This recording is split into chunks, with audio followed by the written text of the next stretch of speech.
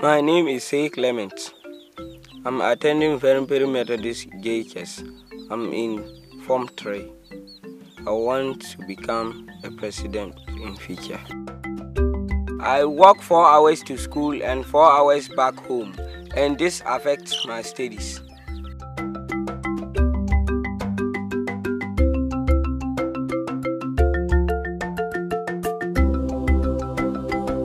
Seven little children must live here, said Snow White.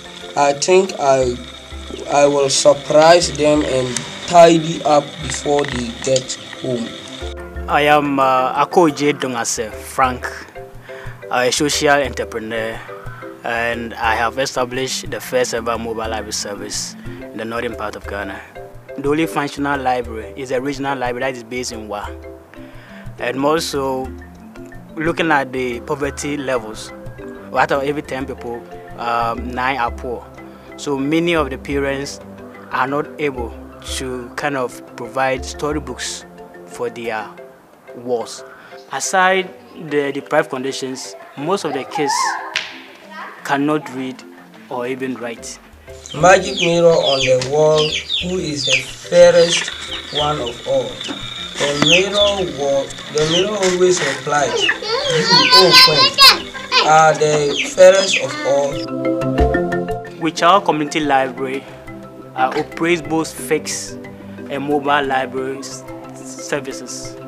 Uh, that is the first of its kind in the Upper Virginia, even northern Ghana, where we have our fixed library in Wechiau and also send reading materials to rural communities and schools.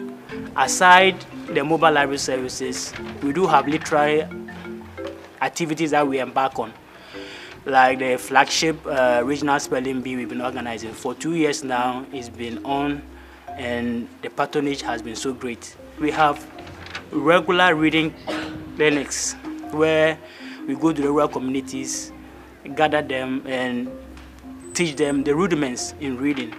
We are also into um, providing solar lamps to rural community. That is solar lamp for a group st study. It's, it's, no, it's not white. Sherit the queen, Snow White must die. We had this young guy coming from Woodbury, a rural community in the Wa West district. He came for the spelling bee, and out of 85 children, he came second. And upon following up, going to his village, he realized that you have to cross two rivers before you get to his community. And even where he lives, there's no electricity. It's interesting having him in my class because when you are teaching, he is someone who concentrates and then asks very intelligent questions. Sometimes if we don't even take time, some of the questions he asks you, as a teacher, if you don't take time, you find it very difficult to answer. He's someone who observes whatever you do, the way you walk, the way you teach, and then the way you express yourself. My name is Helena Leopori. I come from Nata in Upper West Region, a school in West Blind. He helped me with braille materials and reading books.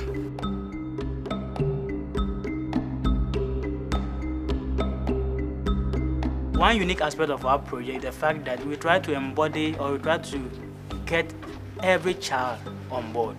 A lot of our children who before now uh, didn't want to read books converge there very often to read.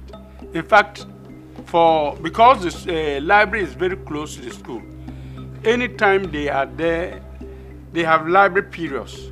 Any class that has a library period, the teachers send them there.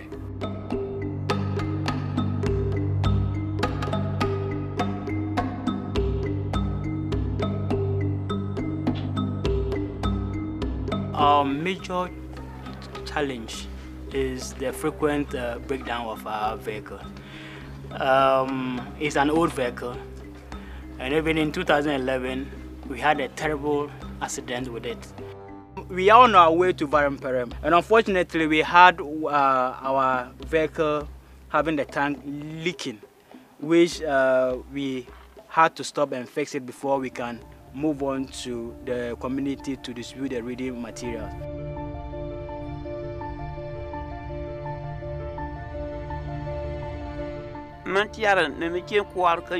As I wipe off the sweat from my face and I reflect on Clement in school, I pray and hope that his future is bright so that he comes back to help the family. Birds and animals, chirping and chattering, they gathered around her and tried to cheer her up. I have always had the passion to cause a lasting change. And money has never been a motivation factor in everything that I do. But what I, I strive to do is to cause a change.